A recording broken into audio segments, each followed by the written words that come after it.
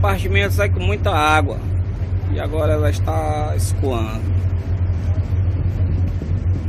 Tanto na popa quanto na proa. Acho que tá para ver aí no vídeo. E uma parte dele que estava submersa já ela já está em já está em cima já, ó.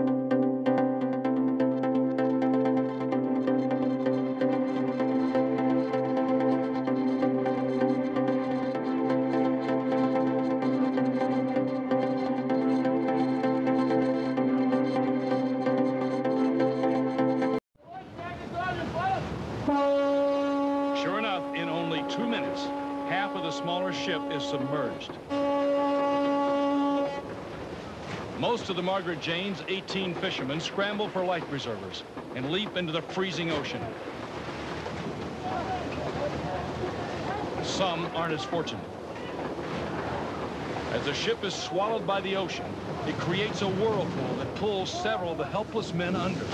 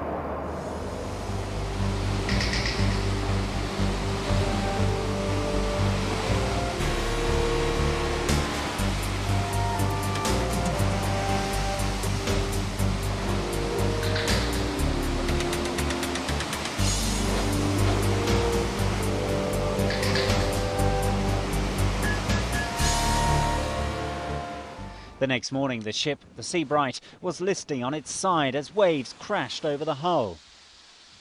One crew member was reported missing, as the other 17 were rescued. Injured crew members, some seriously hurt, were taken to local hospitals. More storms are expected in Turkey as the winter weather takes a turn for the worst. Elsewhere, cold temperatures.